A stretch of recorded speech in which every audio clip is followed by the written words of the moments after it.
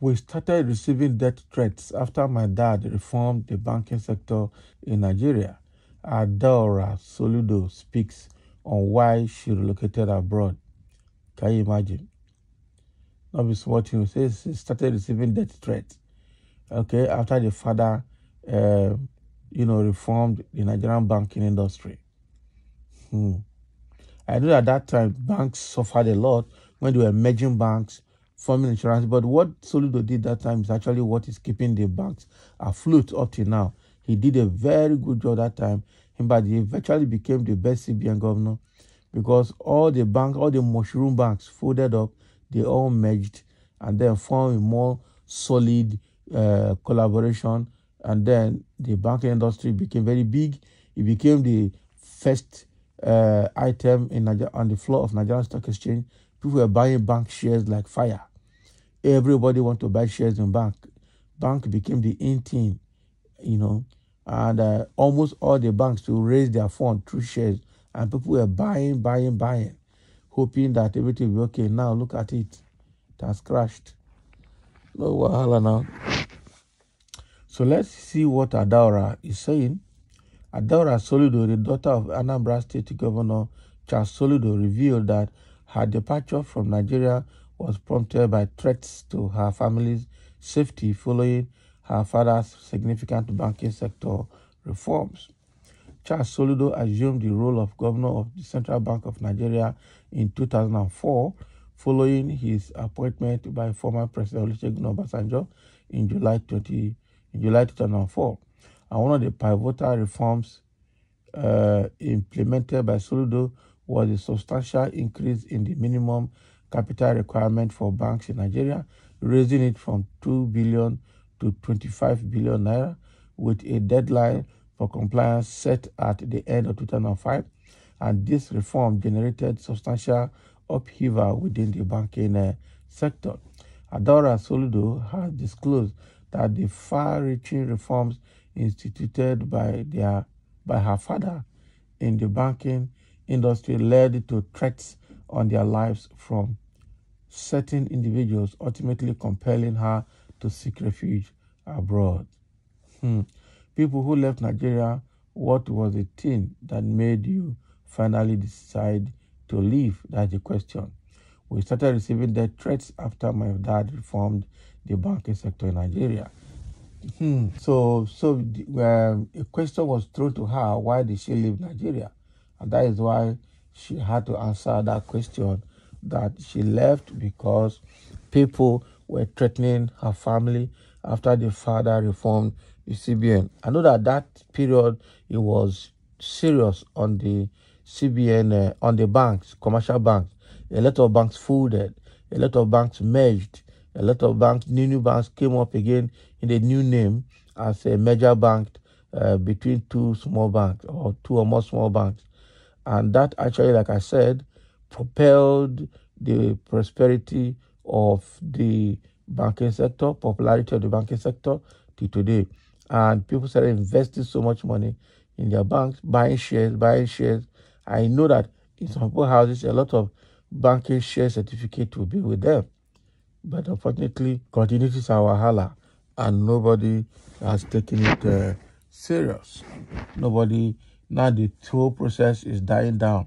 They can't even hold the economy anymore. Quite unfortunate. Now, buying shares in Nigeria is uh, a game of chance. Okay? So, I say you people always relocate abroad whenever your parents are able to get any juicy post here at home. Your father did not carry out any meaningful reform but had access to huge free money. Can you imagine? Hmm. I say, Mr. Reformer, oh my God, since when now? Can you imagine? And they called her liar who says Soludo did not reform Nigerian banks. If you don't know, please ask questions. Yes, Soludo was the architect of uh, bank reform reformation in Nigeria. He did a very serious job. Okay, one minute man, try to ask questions before you conclude on issues like this. Okay, uh, some say, well, me, I am tired of rubbish talk from all these criminal children. How the criminal children. Eh? You sound very frustrated. You better look for something to do with your life. now, wow. So, what is happening here? We thank God Almighty for His, see, Professor Soludo for coming to rescue Nigerian banking sector. He did it actually. Eh? He did it very well. Which reform was that in this country? One that shall never end in Nigeria. Are, are people, people with short memory, have we just forgotten how Soludo actually reformed the banking sector? He did a very good job. Hmm? He did a very good job. He did a very good job. Hmm. And that they're replying themselves here to another commenter, uh, commentator. Uh, somebody say, you mean the problem by they caused themselves and took a negative toll on them, which they had to make sure they fixed. Who was approving banks to operate even when they didn't have enough equity? Eh?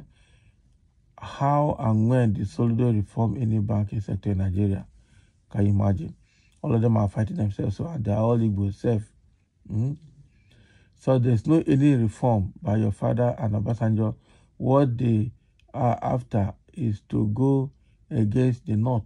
Among the 25 banks, only one belongs to the North. That's Bank of North. And the rest are Southerners. It is a hidden agenda by your father and Obasanjo because Obasanjo is anti-North. He used your father to achieve his selfish interest. That is all. Hmm. I thought to see your reasoning. Why ranting here? Eh? The truth is that the guy actually did some reforms. The reform was good to some people and also hurt some people as well. Obasanjo administration actually tried to put this right, lay some foundation. Unfortunately, after him, all of those things were dumped. They were not followed through. And that is the bad part of the whole situation. Uh, so somebody is replying, another commentator here say, why are you guys like this? Why causing trouble everywhere? Somebody cannot do good things again in Nigeria without uh, oppressing the North. Why you guys always like this? Hmm. Wow. Yeah. Somebody is replying to Soludo daughter and I say, girl, nobody among your people will share your pains because your father refused to play along tribal line. It is well. Can you imagine? that is what somebody is telling her now. Say, don't complain. Nobody will listen to you because your you, you know everybody is tribal. Me, your father is not tribal, so they don't like him. Uh, and obviously, it's okay. So thank you for listening. This is CBN issue. Uh, they are just uh, this this Tolu's daughter is just. I'm sure she's seeking for attention. That is truth. She didn't need to bring this to social media or to any news line at all. So thank you for listening and let's have your comments.